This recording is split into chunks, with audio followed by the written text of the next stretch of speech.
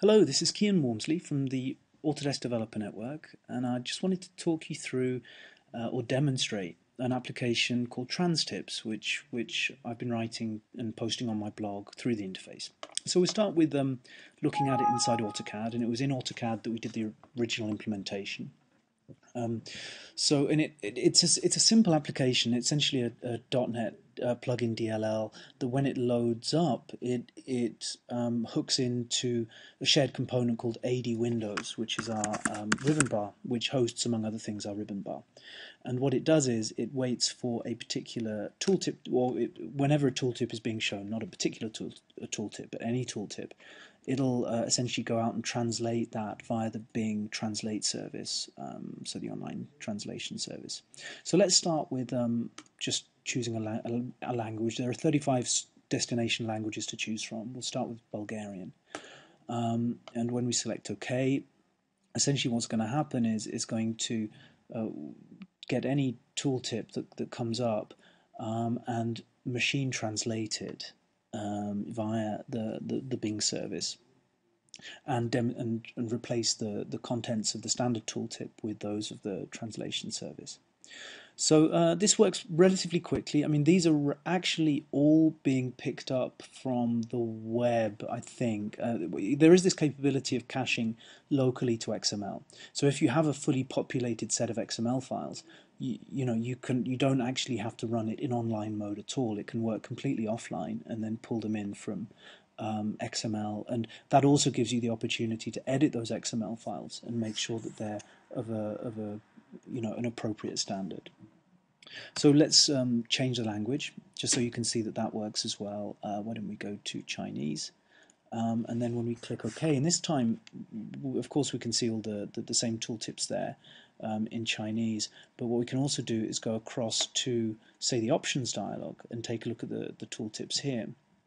And here, this is also a very useful thing for people because clearly um, you know, people do often want to understand the AutoCAD options um, and maybe don't have uh, a full understanding of, of, of what the items are. So, so that way they get translated there too. Um, and then if you want to, uh, to, well, actually what I'll show first, there's a couple of modes of operation. If we change um, CMD dia, which controls whether dialogues are shown for commands, if we change that to zero, and, and use the trans tips command, um, what we can see is that we actually have that same list. And this list is generated each time the application runs. So if there's new languages, it'll support those as well. So here we can either select the language using the number 9, we want to change back to English, or 0 to turn it off, um, select none, or we can also choose EN, which is the language code. And I've done it this way so that if you script it at runtime, it'll automatically allow you to um, select your language rather than relying on the number. It'll it'll allow you to do it based on, on the language code. So here we've seen that we've turned the, the translations off and basically it'll reset the, the contents as they get requested by by the AutoCAD application. So that's the original application and that's the you know seeing it working inside AutoCAD. The next step, and this this was done with, with the help of Jeremy Tammik from you know the building coder blog. He he essentially went took the original application, and as it was working on um, using AD Windows, which is this shared component, which across many many of our applications now, he was able with very little effort to get it to get the same application working inside Revit. So let's take um, let's go start a brand new uh, project. And once we, we have that, we'll go across to the add-ins tab um, as a as a custom command, it gets added um, by default under the external tools um, uh, item here. So we'll go to translate tooltips. We say this, see the same dialog, so it's exactly the same WPF dial, dialog as the AutoCAD version. You'll see a slight difference in that it has the Revit tool, you know, the Revit icon, um, which just gets picked up automatically from the host application. Um, so let's have a look at some slightly sort of different. Let's start. We'll start with Arabic. Um, so here, what we've also done is go right to left. So for Arabic and Hebrew, which are displayed as right to left, um, we've gone ahead and just changed a flipped a switch inside the tooltip class, which means that the text gets presented in that way, which is nice. I mean, it, it sort of obviously aids readability um, for you know for for Arabic and, and Hebrew readers. Um, so that's that. That there. This is another interesting quirk. So if you look under, if you look at the tooltip for window, um, if when that when that comes up, so what we see here is that you'll see windows in plain text, and that happens for all, um, you know, for for all languages, and and there's a reason for that, and that's well, so there, there's two potential reasons, I guess you could say. We're using Bing Translate, so clearly Microsoft has Windows as a product name and it has it reserved and won't translate it. But it is also possibly because using statistical machine translation, you actually train the engine with a set of content, and and they'll be using the the Microsoft user guides and documentation that has been translated into these 35 different languages.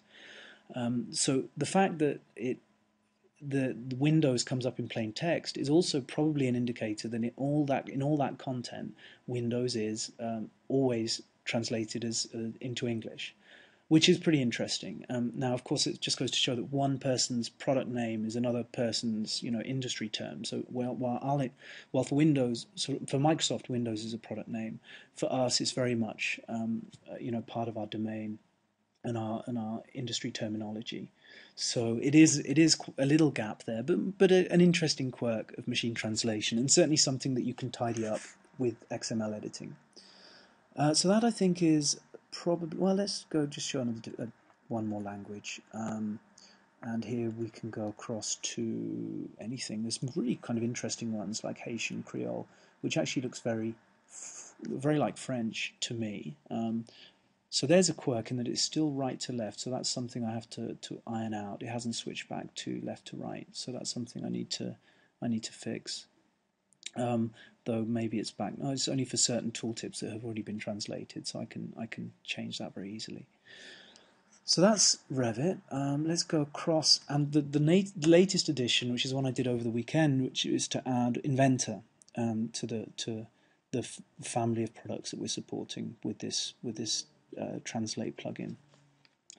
Um, so here, once again, it gets added automatically to the tools menu. So here we can go translate tooltips, same dialog once again, um, and this time we can go to, well, there's a number of interesting ones here.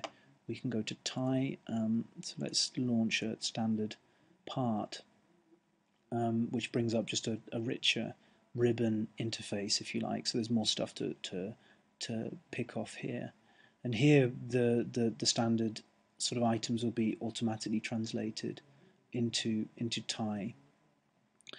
Um, so we can see that those are pulled up. Once again, um, if you want to go across, it's always on the tools menu in this case. We can select um, go back to English or as well Hebrew if you want to see another right to left language. Uh, let's uh, see that come up. Okay, as you'd expect.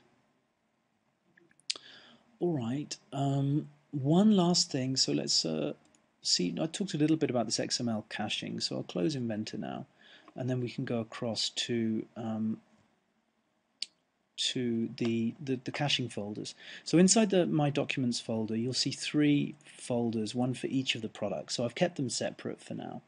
Um, but essentially, if you go into AutoCAD, then you can see that these are each relatively small XML files. Um, and for a particular for a particular string or particular command, if you like, it'll create this XML. And for every language that gets that gets um, that gets translated into, the content will appear in this in this XML file. we could do this a bit different. We could create XML files for each language, which might make it easier from a, you know, to, in terms of deploying um, a, a particular language implementation for a, for a product. But but again, we're providing the source code for this. It's very straightforward for somebody to go and modify the, that that particular logic, um, especially if they're doing their own local language tooltip deployments. But you know, so one thing, just you know, what you I do expect to see happen is that people will generate this cache by going through the various user user elements, then make use of either this direct, you know, editing directly in the XML or using the, some in-product editing capability that, that I hope to implement soon, which would allow you to, you know, hitting a, a particular key combination, bring up an editing dialog so that you could edit the XML in place and, and essentially approve a translation uh, rather than stick with the, the machine translation. And that would you know allow you to to save these XML files and create this essentially uh, approved translation that, that, that it's then possible to, to deploy and share. So that is it for this demo. I hope you found it interesting. Um, if you have any comments, please post them via the blog or YouTube or uh, send me an email. I'll be interested to hear from you. Thank you very much.